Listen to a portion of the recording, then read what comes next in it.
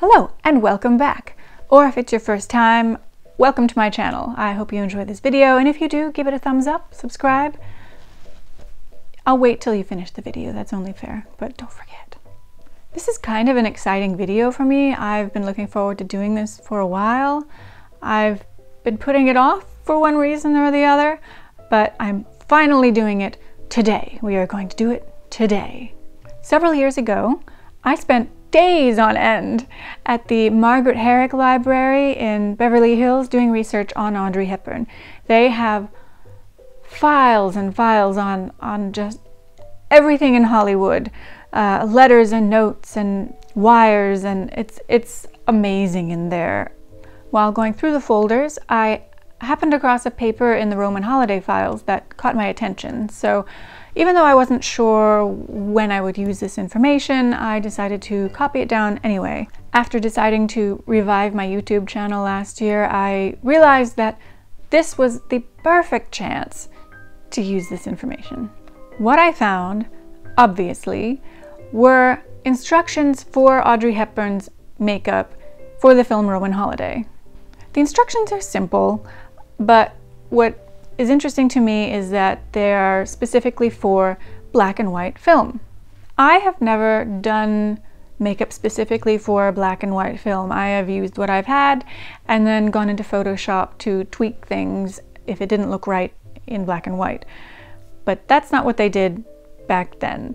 I'm not an expert on this at all. I just, I am aware of the fact that back then, uh, and maybe even today, but especially back then, they had to do their makeup and, and clothing to look good on black and white film. So it might have looked really funny in person. They might have looked really tan, their lips might have been a funny color, and, and I think that's very interesting. I have never tried it because we have this technology and are able to tweak things and, and don't need special makeup. However, I am going to try it today.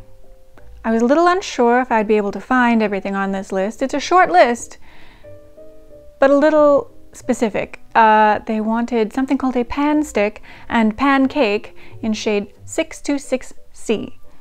Very specific and helpful if it still exists. Not so helpful if it does not, because this was 60 or 70 years ago. so I just crossed my fingers and Googled it. Just to get into the spirit of things, I printed out the instructions uh, to look a little old-fashioned. I actually can't remember what the original paper looked like, but probably something like this. Maybe I'll go back and check it out again next time I'm in Los Angeles. but uh, here are my instructions. Okay, I'm going to start by reading through the list of items that we need, and I'm going to show you the items that I bought. The first item is base number 626C pan stick. This is what I bought which I'm hoping is exactly what I need. TV Paint Stick by uh, Kryolan. Might not be pronouncing that right, not sure. Professional Makeup. It's, uh, it is number 626C, and this is what it looks like. Not exactly my skin tone, so...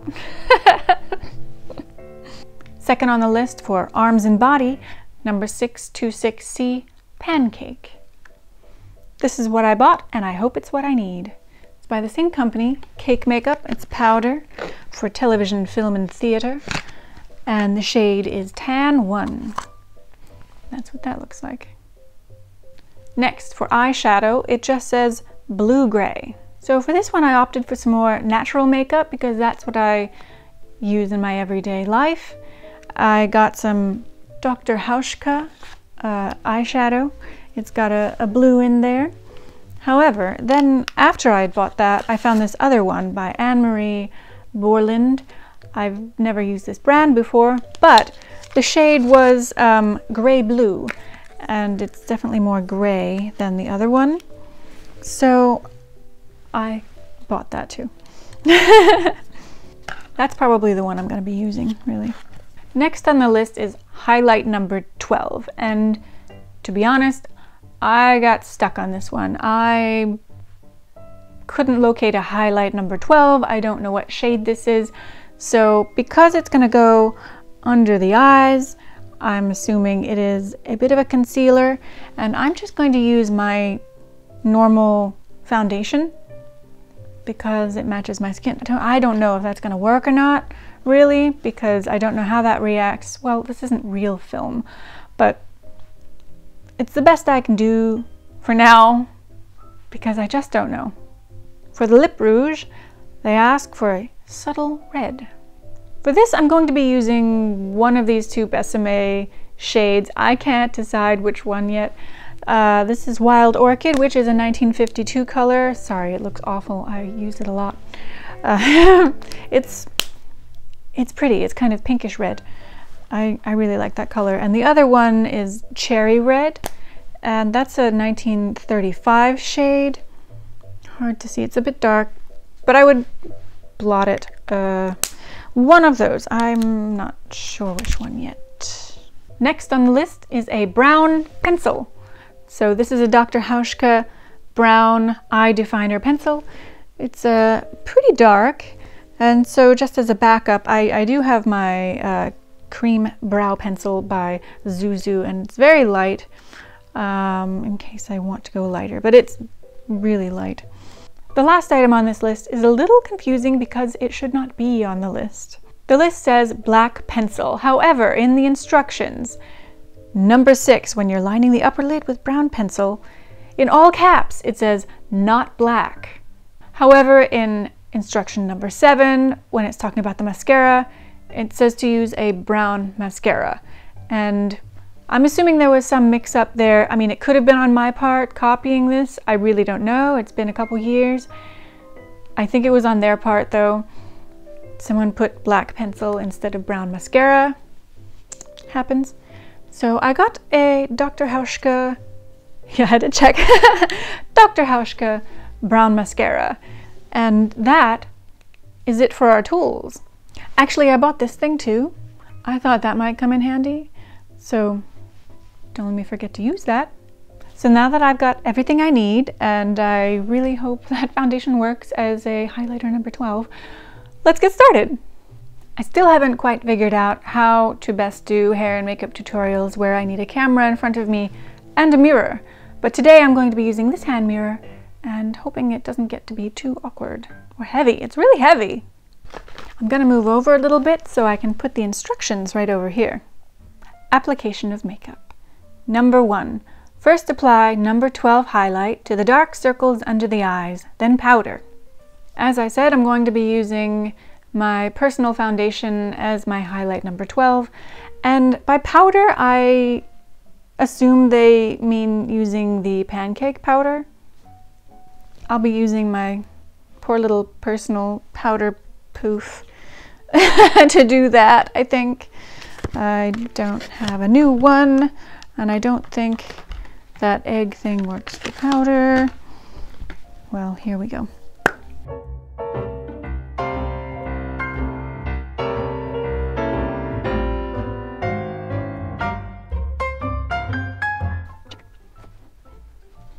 Okay, now for the fun part. Step number two, apply 626C pan stick all over the face, then rub gently to spread it evenly.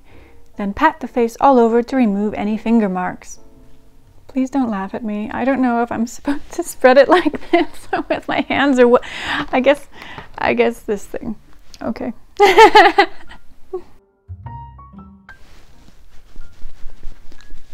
oh my gosh.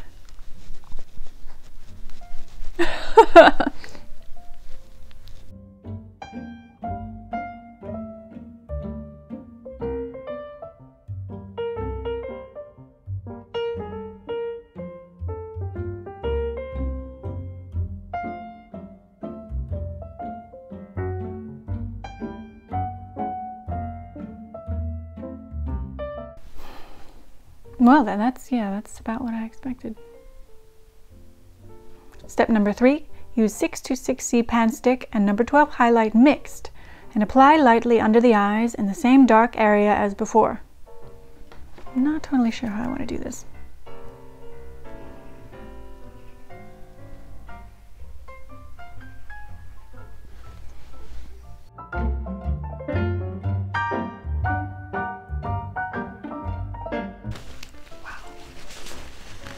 Number four, apply blue-gray eyeshadow to the eyelids and smooth down gently.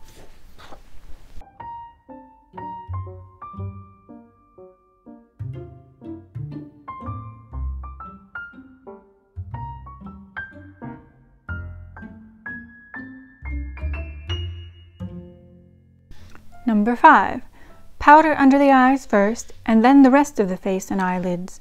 Important, don't use too much powder. She should have a nice skin sheen and not the dull flat look. Then brush off excess powder. I'm going to use this brush for the powder. I hope that works.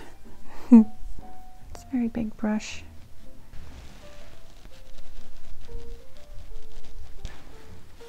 Maybe too big.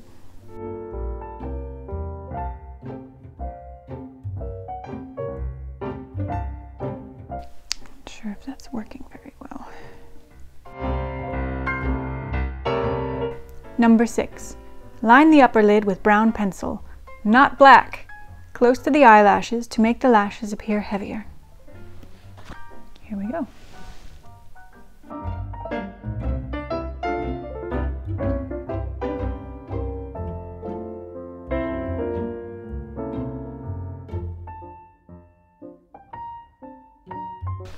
I'm not very good with eye pencils.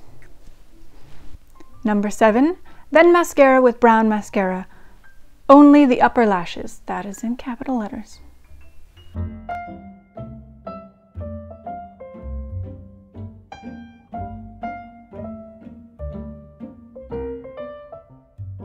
I personally use this little thing after putting on mascara.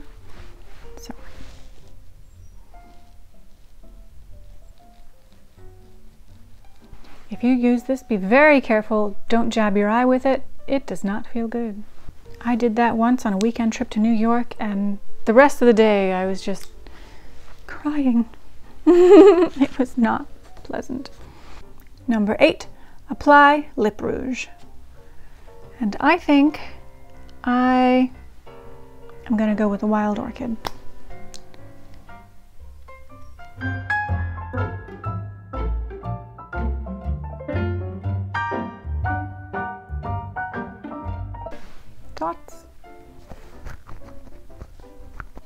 Number nine, cover exposed parts of body with 626C pancake. Now I'm going to admit I wasn't sure how that would work because it's a powder and I tried and you know, nothing. Then I read the instructions on the back of the box which says use a wet sponge. So we're going to do it right. And we're going to get this, I hope that works. That is my sponge. And we are going to get that wet do that. now, now this makes more sense, huh? Okay.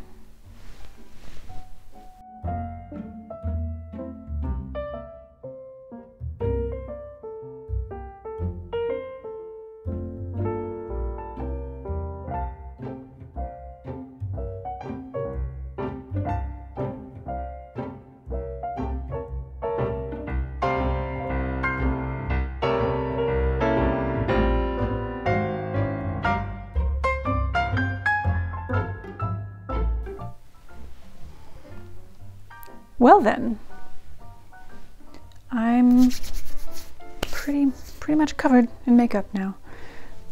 It's not that even. I did not do the greatest job, but oh boy.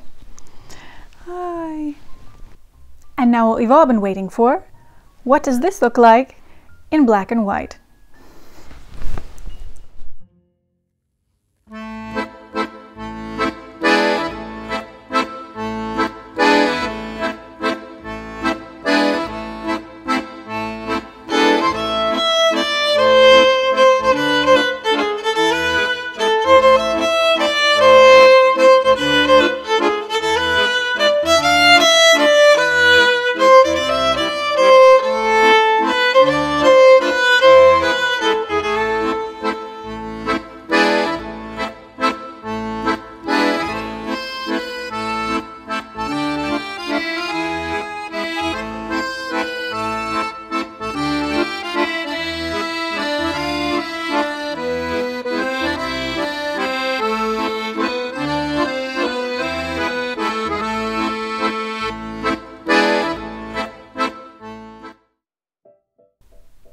Thank you for watching my video. I hope you enjoyed it. I certainly did. It was so fun to finally follow these instructions and see how weird I look.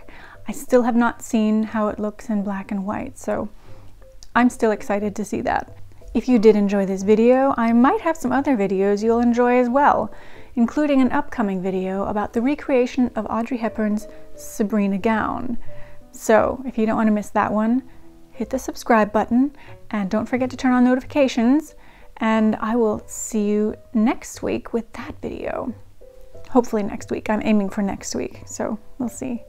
As I've said before, if you have any ideas or suggestions for future videos I can make, please leave it in the comments below and maybe I'll make a video. Well, that's it for this week. Stay tuned for the Sabrina dress. Bye.